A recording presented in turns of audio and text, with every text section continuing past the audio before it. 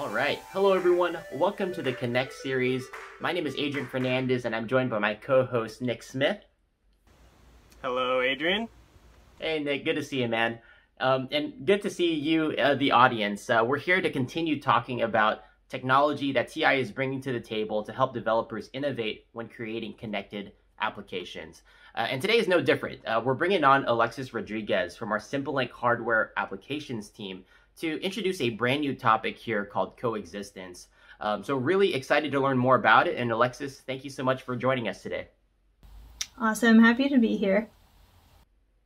Awesome. Well, you know, if you don't mind, let, us jump right in. Uh, maybe we start off with a, a quick introduction. You know, what exactly is coexistence? Sure. So when we refer to coexistence, we're basically talking about a mechanism that allows you to have um, two co-located radios. So two devices on the same board. Um, and an example of this would be, you know, a Bluetooth device and a Wi-Fi device. Um, operate on the same frequency band, so in this case 2.4 um, gigahertz. Um, and it allows them to, you know, coexist without interfering with each other's um, packet transmissions. And so basically how this is done is by giving the two devices a dedicated communication interface so that they can um, manage their own wireless packet traffic. Yeah, that, that makes sense. And I assume you can implement a non-coexistent solution with, say, BLE and Wi-Fi as well. So what are the benefits of using coexistence and, and the consequences of not implementing coexistence? Sure. So um, having the two devices on the same board without making use of coexistence can sometimes lead to some RF performance issues. Um, which can manifest in things like you know high packet retry rates and higher current consumption um, and things like that. Or it'll cause you to have to increase the size of your board um, in order to kind of mitigate some of these issues.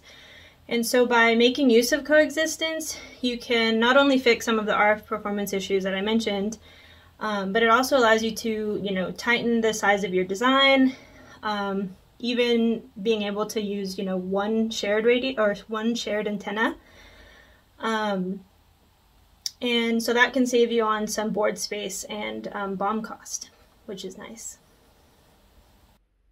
Oh wow, very cool. So so it looks like uh, you know form factor is an area that that could truly benefit from coexistence by being able to bring these two chips you know closer together. You know otherwise they would kind of fight each other, but with a coexistence solution they can kind of coexist in a sort of peaceful manner. Um, can you touch on some of the end equipments or use cases that could benefit from coexistence? You mentioned Wi-Fi and Bluetooth being sort of a common pairing. Yeah, so you can really make use of um, coexistence in any application that you would need to have two radios. Um, so one application specifically would be, you know, an e-lock um, that makes use of provisioning. So a lot of times um, people want to do, you know, BLE provisioning, but then um, be able to access their lock from anywhere. So make use of the Wi-Fi side. Um, and it needs to be small, right? Because it's a door lock. So. Yeah, that that makes sense because now that you say that, there's several kind of home or building type automation things that I've used personally, where I'm provisioning with my phone, possibly over BLE, but then it's Wi-Fi connected. So seems like those are likely using coexistence, uh, which is pretty cool. And, and another question for you is all coexistence the same? Like if I say I have coexistence, do I have it or are there, there different types and implementations? So good question. There's actually a lot of different kinds of implementations. Um, TI, um, specifically on our um, BLE side, um, we support three different implementations. Um, so that would be one wire request, one wire grant, and three wire. Um, and I could talk about those a little bit.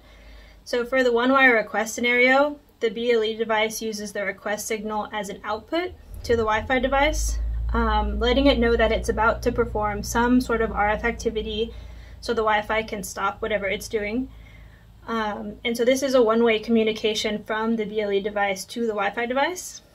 Um, in the one-wire grant scenario, it's flip-flopped, so it's a signal from the Wi-Fi device to the BLE device, letting it know, you know, when it's allowed to um, perform RF activity. So again, um, just one signal, but this time from Wi-Fi to BLE.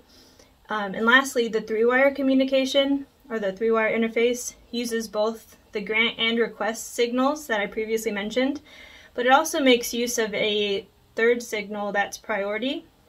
Um, and this allows the BLE to, to also relay um, information regarding, you know, priority and what kind of um, RF activity it's going to perform so that the Wi-Fi can make a more informed decision. Oh wow, very cool. So so kind of different levels of, of complexity depending on the on the customer use case. Um, you mentioned something earlier that seemed pretty interesting as well. You know, it sounds like form factor is is one of the key sort of benefits here of, of coexistence by bringing these two chips closer together. You know, a Bluetooth device and a, and a Wi-Fi device. Uh, but you mentioned one additional aspect where you know not only can they be placed closer together because of coexistence, um, but they potentially can also share a, single radio uh, design. Is that something you can touch on as well? Um, right. So with coexistence, you can really um, it depends on you know your application, but you can um, make use of you know two antennas or just have a shared single antenna if you wanted. So you would add in a um, an additional RF switch, um, and then using the um, coex mechanism, it would control which device has control of the antenna at um, a single time. Okay, cool. Yeah, so it sounds like various options as far as which coex implementation, what hardware options you want, single or dual antenna. Um, and I know, you know, in, in many previous videos we've talked about TI's BLE and Wi-Fi portfolio. Uh, so can you tell us if, if people want to get started with TI coex, where, where can they go to get started? So um, there's several app notes um, that we have that kind of talk about how to implement coex. Um, I believe we also have a, sim- a SimpleLink Academy and the latest um, SimpleLink Wi-Fi SDK as well as the latest um, SimpleLink CC13X2 26X2 SDK both support it, so you can get started um, with those two software-wise today. Um, and I believe we'll have those resources linked in the description below. Perfect. Yeah, so it sounds like everything's online. Check the links below. We'll, we'll make sure uh, to link everything that you mentioned. And Alexis, thank you very much for, for coming and educating us. I certainly learned uh, about coex myself and some of the nuances and benefits to it. So I really appreciate it. All of you guys, thank you for tuning in to another uh, remote session of the Connect series here. As always, we have more great content coming up, uh, more great demos, and, and more great connectivity topics. Thanks, guys.